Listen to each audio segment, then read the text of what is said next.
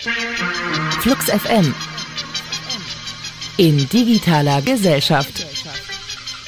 The Pirate Bay ist eine Website, äh, die der Content-Industrie schon seit über zehn Jahren ein Dorn im Auge ist. Urheberrechtlich geschützte Inhalte werden da zwar jetzt nicht zum Download angeboten, aber ihr findet natürlich Verweise, über die sich Filme, Musik, Software und all so ein Kram anderweitig runterladen lassen. Der Europäische Gerichtshof hat jetzt entschieden, damit das Angebot von The Pirate Bay, äh, nee, dass das äh, Angebot von The Pirate Bay gegen das Urheberrecht verstößt und damit macht das Gericht jetzt den Weg frei für eine Sperrung der Webseite durch Internetzugangsanbieter, also über diesen einen kleinen Umweg. Warum es in dem Fall geht und was die Entscheidung fürs offene Netz und die Grundrechte bedeutet, das besprechen wir jetzt mit Volker Tripp äh, vom Verein Digitale Gesellschaft. Hallo Volker. Hallo. Äh, The Pirate Bay ist jetzt nicht unbedingt jedem ein Begriff, weil mhm. nicht jeder, man kann sich das manchmal nicht vorstellen, aber nicht jeder äh, nutzt illegale Inhalte im Netz. Was ist das für eine Website? Worum geht's da?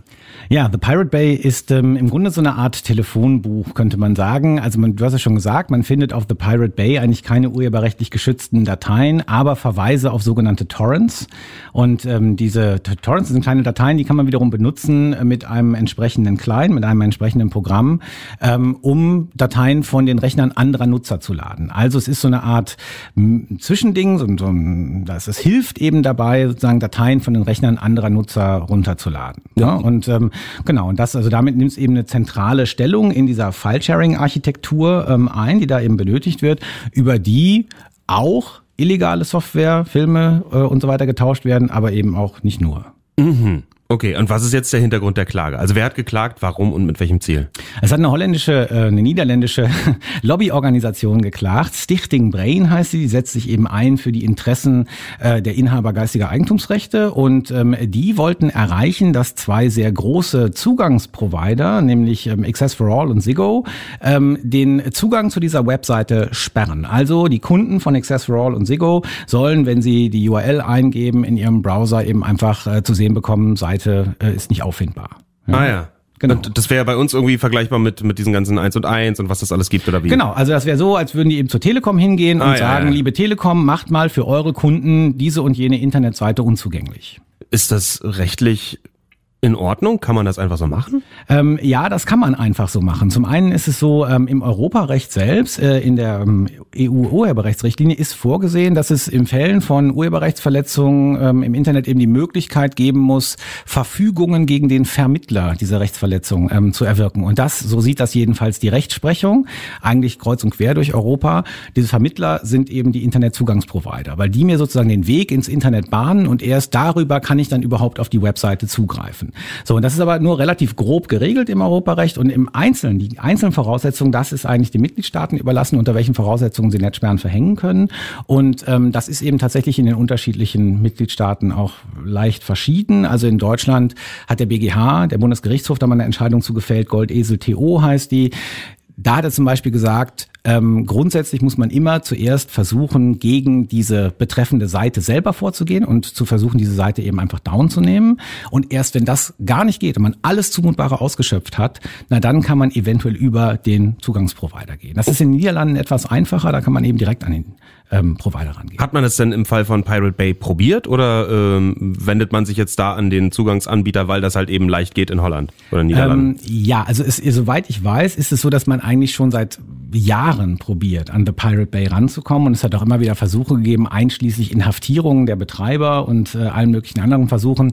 Äh, letztlich ist, ist es bisher jedenfalls auch immer wieder daran gescheitert, dass The Pirate Bay eben sagen konnte, wir hosten kein urheberrechtlich geschütztes Material. Bei uns gibt's nur die Torrent-Links und ähm, wenn einer hier das Urheberrecht verletzt, dann sind das die Nutzer, aber jedenfalls nicht wir. Und deswegen ist, ist man eben häufig auch mit dem Vorgehen gegen The Pirate Bay gescheitert und weil es eben wesentlich leichter ist, einfach zu den Providern zu gehen, die sind greifbar, die, gegenüber denen sind auch Gerichtsentscheidungen sehr gut vollstreckbar. Ja. ja ähm, deswegen hat man sich eben dann jetzt die Provider rausgesucht. Und den Providern ist das egal, die lassen sich das dann vorschreiben und machen sie es halt, oder wie? Äh, nicht wirklich, denn ansonsten wäre es ja nicht zu dem Gerichtsverfahren gekommen. Also die Stichting Brain musste die beiden Provider tatsächlich verklagen und ähm, das Ganze ging auch durch mehrere Instanzen und das oberste Gericht der Niederlande ist dann eben jetzt hingegangen und hat gesagt, hm, also ist das denn jetzt eigentlich eine Urheberrechtsverletzung im Sinne des europäischen Urheberrechts? Und genau diese Frage hat dann eben dieses Gericht dem EuGH jetzt vorgelegt. Okay, äh, Volker bleibt hier noch einen Moment. Wir klären nämlich gleich mal, wie Netzsperren wie im Fall von The Pirate Bay eigentlich genau funktionieren. The Pirate Bay haben wir gerade schon gesagt, das ist die Website, die euch zeigt, äh, wie ihr im Netz an urheberrechtlich geschützte Inhalte wie Filme, Musik und Software kommt. Das würde jetzt wie Werbung klingen, wenn nicht der Europäische Gerichtshof äh, gesagt hätte, so, das Angebot von Pirate Bay verstößt gegen das Urheberrecht und äh, hat damit den Weg freigemacht für eine Sperrung der Website durch Internetzugangsanbieter. Volker Tripp ist immer noch bei uns. Äh, äh, Volker, wie funktionieren Netzsperren denn eigentlich so ganz genau? Ja, der einfachste Weg ähm, ist eigentlich, dass man die IP-Adresse sperrt. Ne? Also dass jede Seite hat ja eine, eine IP-Adresse, eine, eine lange Reihe an Zahlen. So, und jetzt kann man eben einfach sagen, okay, der, der, der Provider kann einfach sagen, ich erlaube meinen Kunden nicht den Zugriff auf diese IP-Adresse. Ne? Das ist relativ äh, äh, effektiv erstmal. Eine andere Möglichkeit ist eben auch eine DNS-Sperre. Das heißt also, weil sich ja keiner diese langen Zahlen merken kann, aus denen eine IP-Adresse besteht, gibt es eben immer noch äh, den, ähm, also in Buchstaben und so weiter, die ganz normale Adresse. Ne? Das wird dann eben über einen Domain-Name-Service äh, ähm, umgeleitet auf die eigentliche IP-Adresse, wenn man eben nur diese in, in Buchstabenadresse eingibt. Genau, das kann man eben, die könnte man zum Beispiel genauso gut sperren und damit können die Kunden erstmal nicht mehr darauf zugreifen. Ja. ja. So, allerdings, technisch ist es relativ leicht, das Ganze zu umgehen, nämlich zum Beispiel durch einen Anonymisierungsdienst wie Tor oder wenn man VPN benutzt, denn dann greife ich ja eben gar nicht direkt auf diese Webseite zu, sondern eben erstmal auf den Tor Entry Node oder eben auf, äh, auf den VPN und von da aus geht's dann weiter zu der Seite, die ich eigentlich benutzen will und dann sieht mein Provider nicht mehr, worauf ich dann eigentlich zugreife und dann kann ich diese Sperre ohne weiteres umgehen. Also Volker, da, da wir ja jetzt hier alles in kurz und klein so, mhm. so ein bisschen erklären, du musst glaube ich auch Tor und VPN mal ganz kurz erklären für, für Leute, die nicht wissen, was also es ist. Also VPN ist ein Virtual Private Network, ja, da verbinde ich mich eben von meinem Rechner aus erstmal mit einem anderen äh, Server und zwar durch eine, durch eine verschlüsselte Verbindung, die von außen nicht einsehbar ist und erst von diesem Server aus geht dann die Verbindung an die eigentliche Internetseite, die ich gerne haben möchte. Und auf die Art und Weise kann dann bei der Internetseite, die ich haben möchte, taucht auch nur die IP-Adresse von dem VPN-Dienst als Aha. Zugriff auf auf und nicht meine eigene. Und Tor? Ja? Und Tor funktioniert so ähnlich. Das ist ein spezieller Browser, der ähm, den, den Traffic eben auch umleitet über mehrere Punkte, sodass eben auch nicht mehr erkennbar ist für die Seite, die ich anwähle, wer ich eigentlich bin und umgekehrt für meinen Provider auch nicht erkennbar ist, welche Seiten ich anwähle. Ah, alles klar. So, gut. Wir haben jetzt geklärt, wie Netzsperren eigentlich funktionieren. Äh, viele Aktivisten, euch eingeschlossen, mhm. ähm, denen, denen sind Netzsperren eigentlich ein Dorn im Auge. Ihr lehnt das ab. Warum?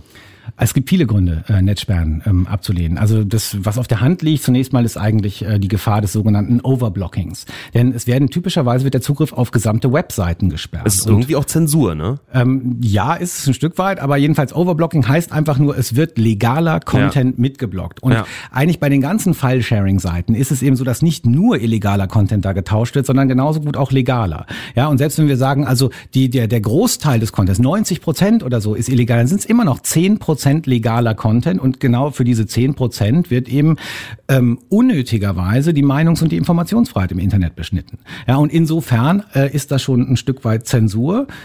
Im Übrigen geht eigentlich auch noch eine weitere Gefahr davon aus, denn wenn man einmal diese Architektur stehen hat, dass ja. man also sagt, okay, hier können Netzsperren angeordnet werden, ohne weiteres, durch eine gerichtliche Verfügung und so weiter, dann passiert das heute wegen des Urheberrechts und wer garantiert, dass diese Architektur nicht morgen für andere Inhalte, missliebige Äußerungen zum Beispiel oder jetzt ja gerade ein sehr großes Diskussionsthema Hass und Hetze im Netz benutzt wird und Webseiten eben gesperrt werden, weil man sagt, oh, da tauschen sich aber tauschen Leute nur bösartige Meinungen aus oder irgendwie sowas.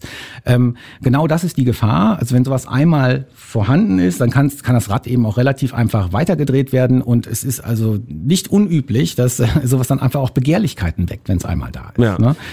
Diese, genau. diese erwähnten Aktivisten, in die wir euch mit eingeschlossen haben, macht ihr was dagegen? Also äh, prangert ihr das, prangert ihr das an? Ja, oder gibt es ja. Aktionen oder was? Also ich meine, Netzsperren sind ja schon seit ziemlich langer Zeit äh, ähm, eigentlich so in der, in der Diskussion ganz groß mal äh, mit dem äh, mit diesem Zensurgesetz von äh, Frau von der Leyen, ja, Zensursolar äh, war das Stichwort. Ähm, und seitdem ähm, eigentlich äh, protestieren wir immer wieder dagegen, weil Netzsperren an sich einfach ein Weg ist, der nicht besonders sinnvoll ist. Für die, die versiert sind, ist es leicht zu umgehen umgehen, mhm. sind sie leicht zum Gehen. Und für den Durchschnittsnutzer haben sie eben einen abschreckenden Effekt. So. Und das halt insgesamt sind sie einfach nicht der Freiheit und, und den Grundrechten im Internet förderlich. Aber ja. wie protestiert ihr äh, dagegen? Also jetzt natürlich hier, das, das schafft mhm. Öffentlichkeit, dass wir alleine darüber schon sprechen, aber gibt es irgendwelche anderen Aktionen, an denen ich mich beteiligen kann oder sonst wie, wo ich mitmachen kann? Wir haben jetzt unmittelbar jetzt gerade ja. keine Aktion, äh, wo man sich dagegen äh, beteiligen kann, aber zum Beispiel kann man äh, ähm, sich, sich ähm, sagen wir mal, interessieren jetzt für die EU-Urheberrechtsreform. Da werden Netzsperren und und Upload-Filter und all diese ganzen Dinge, die eigentlich letztlich eine Zensurinfrastruktur begründen,